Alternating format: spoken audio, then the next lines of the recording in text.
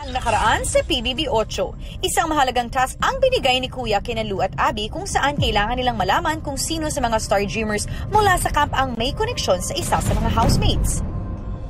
Agad namang inimbestigahan ng dalawa kung sino ito. Ano apelyido mo? Talang. Talang. I'm sorry. Ikaw? Obera. Opera? Ba't yung mga kapatid mo hindi mo pa nakikita? Siguro sa papa ko siguro, may mga kapatid ako na iba. Opera. Apelyido. Gomez. Gamit. Opera! Opera! Opera! Kuya, Opera. Okay. Ano ang ibibigay niyo sa aking sagot? Para sa task na ibinigay ko sa inyo. Kuya, sa tingin po namin si Ate Ape, tsaka si Kuya Marco magkapatid. Luwa Tabi, Yes, kuya. ang hula ninyo ay tama. Unti-unti nang naglalapit ang mundo ng magkapatid. Kaya naman, pakatutukan ang mga bago at nakakaanting na kwento mamaya sa PBB 8. Hello, Starmates! Totodo tayo ngayong Thursday dito kung saan nagniningning ang araw ninyo sa sayang dala ng 8. Ito ang Pinoy Big Brother Asha Go! Oy, Melay, wag Ano mo kami eh, ginaganon na Dahil ang hamon nila ay tuloy-tuloy pa rin, lalo na at itong karinderya job nila ay malaki actually ang role na piniplay sa pinakaabangan nating reunion ng magkapatid na si Mark at si Ape. Oh my Alam niyo ba The first time ever sa history ng PBB.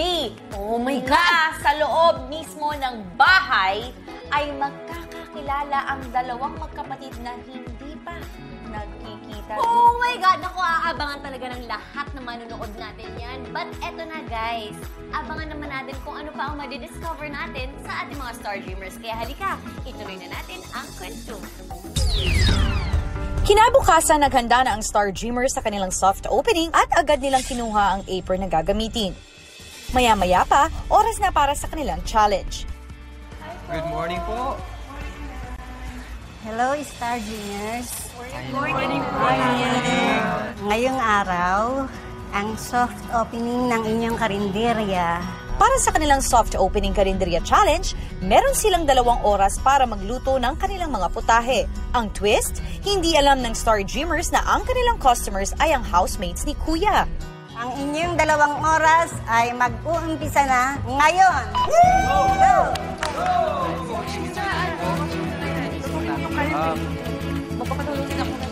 Malinis na yan. Ang girls, nagkanya-kanya sa kanilang roles. I-chop ko muna yung tingnan ko. Tingnan ko. Ito, tinanggal ko Nak, mali to. Di ba four? Ganyanin mo pa to. Smaller pa? Di ba?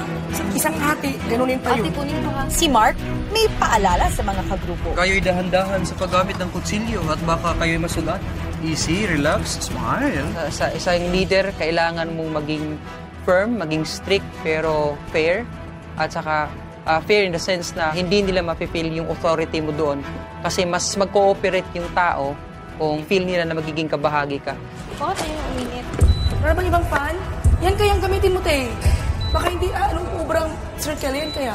Bilisan natin, guys. Yes, ate. Wala pa tayong maluluto, ha? Habang busy ang boys, ay kinamusta sila ni Nanay Enya. Kumusta kayo, Mark? Ah, doon naman na pag matap, makuha na yung timpla, ilalagay na namin yung gulay. Mayroon na ba kayong kanin? Uy, kanin pa boys. Anong oras na? Wala pa kayong kanin. Sige, sige, sige. Paano kung may umorder na ngayon? Sana wag naman. Bilisan mo. Bakit ganun, Mark? Kung alin pa yung pinakamadaling lutuin, yung parang nakalimutan mo. Si Thea mukhang problemado sa sinaing niya. Okay na yung rice? Hala! Bakit nagkaganyan? Ilan ba ang tubig mo?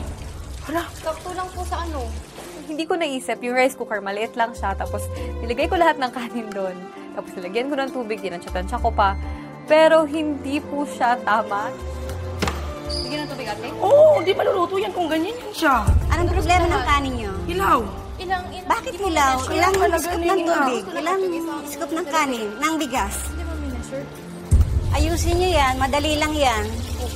Make sure maluto yan, guys, ha? Samantala sa boys, dama na rin ang pressure. Eh, wala tayong kanin pa. Oh, no, no, no, no. Hey, huwag pa, huwag pa. Radish. Huwag pa, huwag pa, huwag pa. Dagdagan mo, Bakit Master. Dagdagan. tubig lang ang natlagay mo? Alam, marami tayong niluto. Nilagay mo. Dagdagan pa ng water yan. Oh, no, nito ka story. Bigay mo sa akin yan. To? May, may water dito. Lagay mo dito. Damihan mo pa. Kasi pasuyin niyo yung kanin.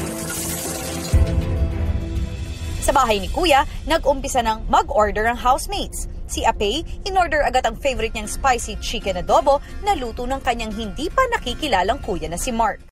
Ikaw ang bituin na sunod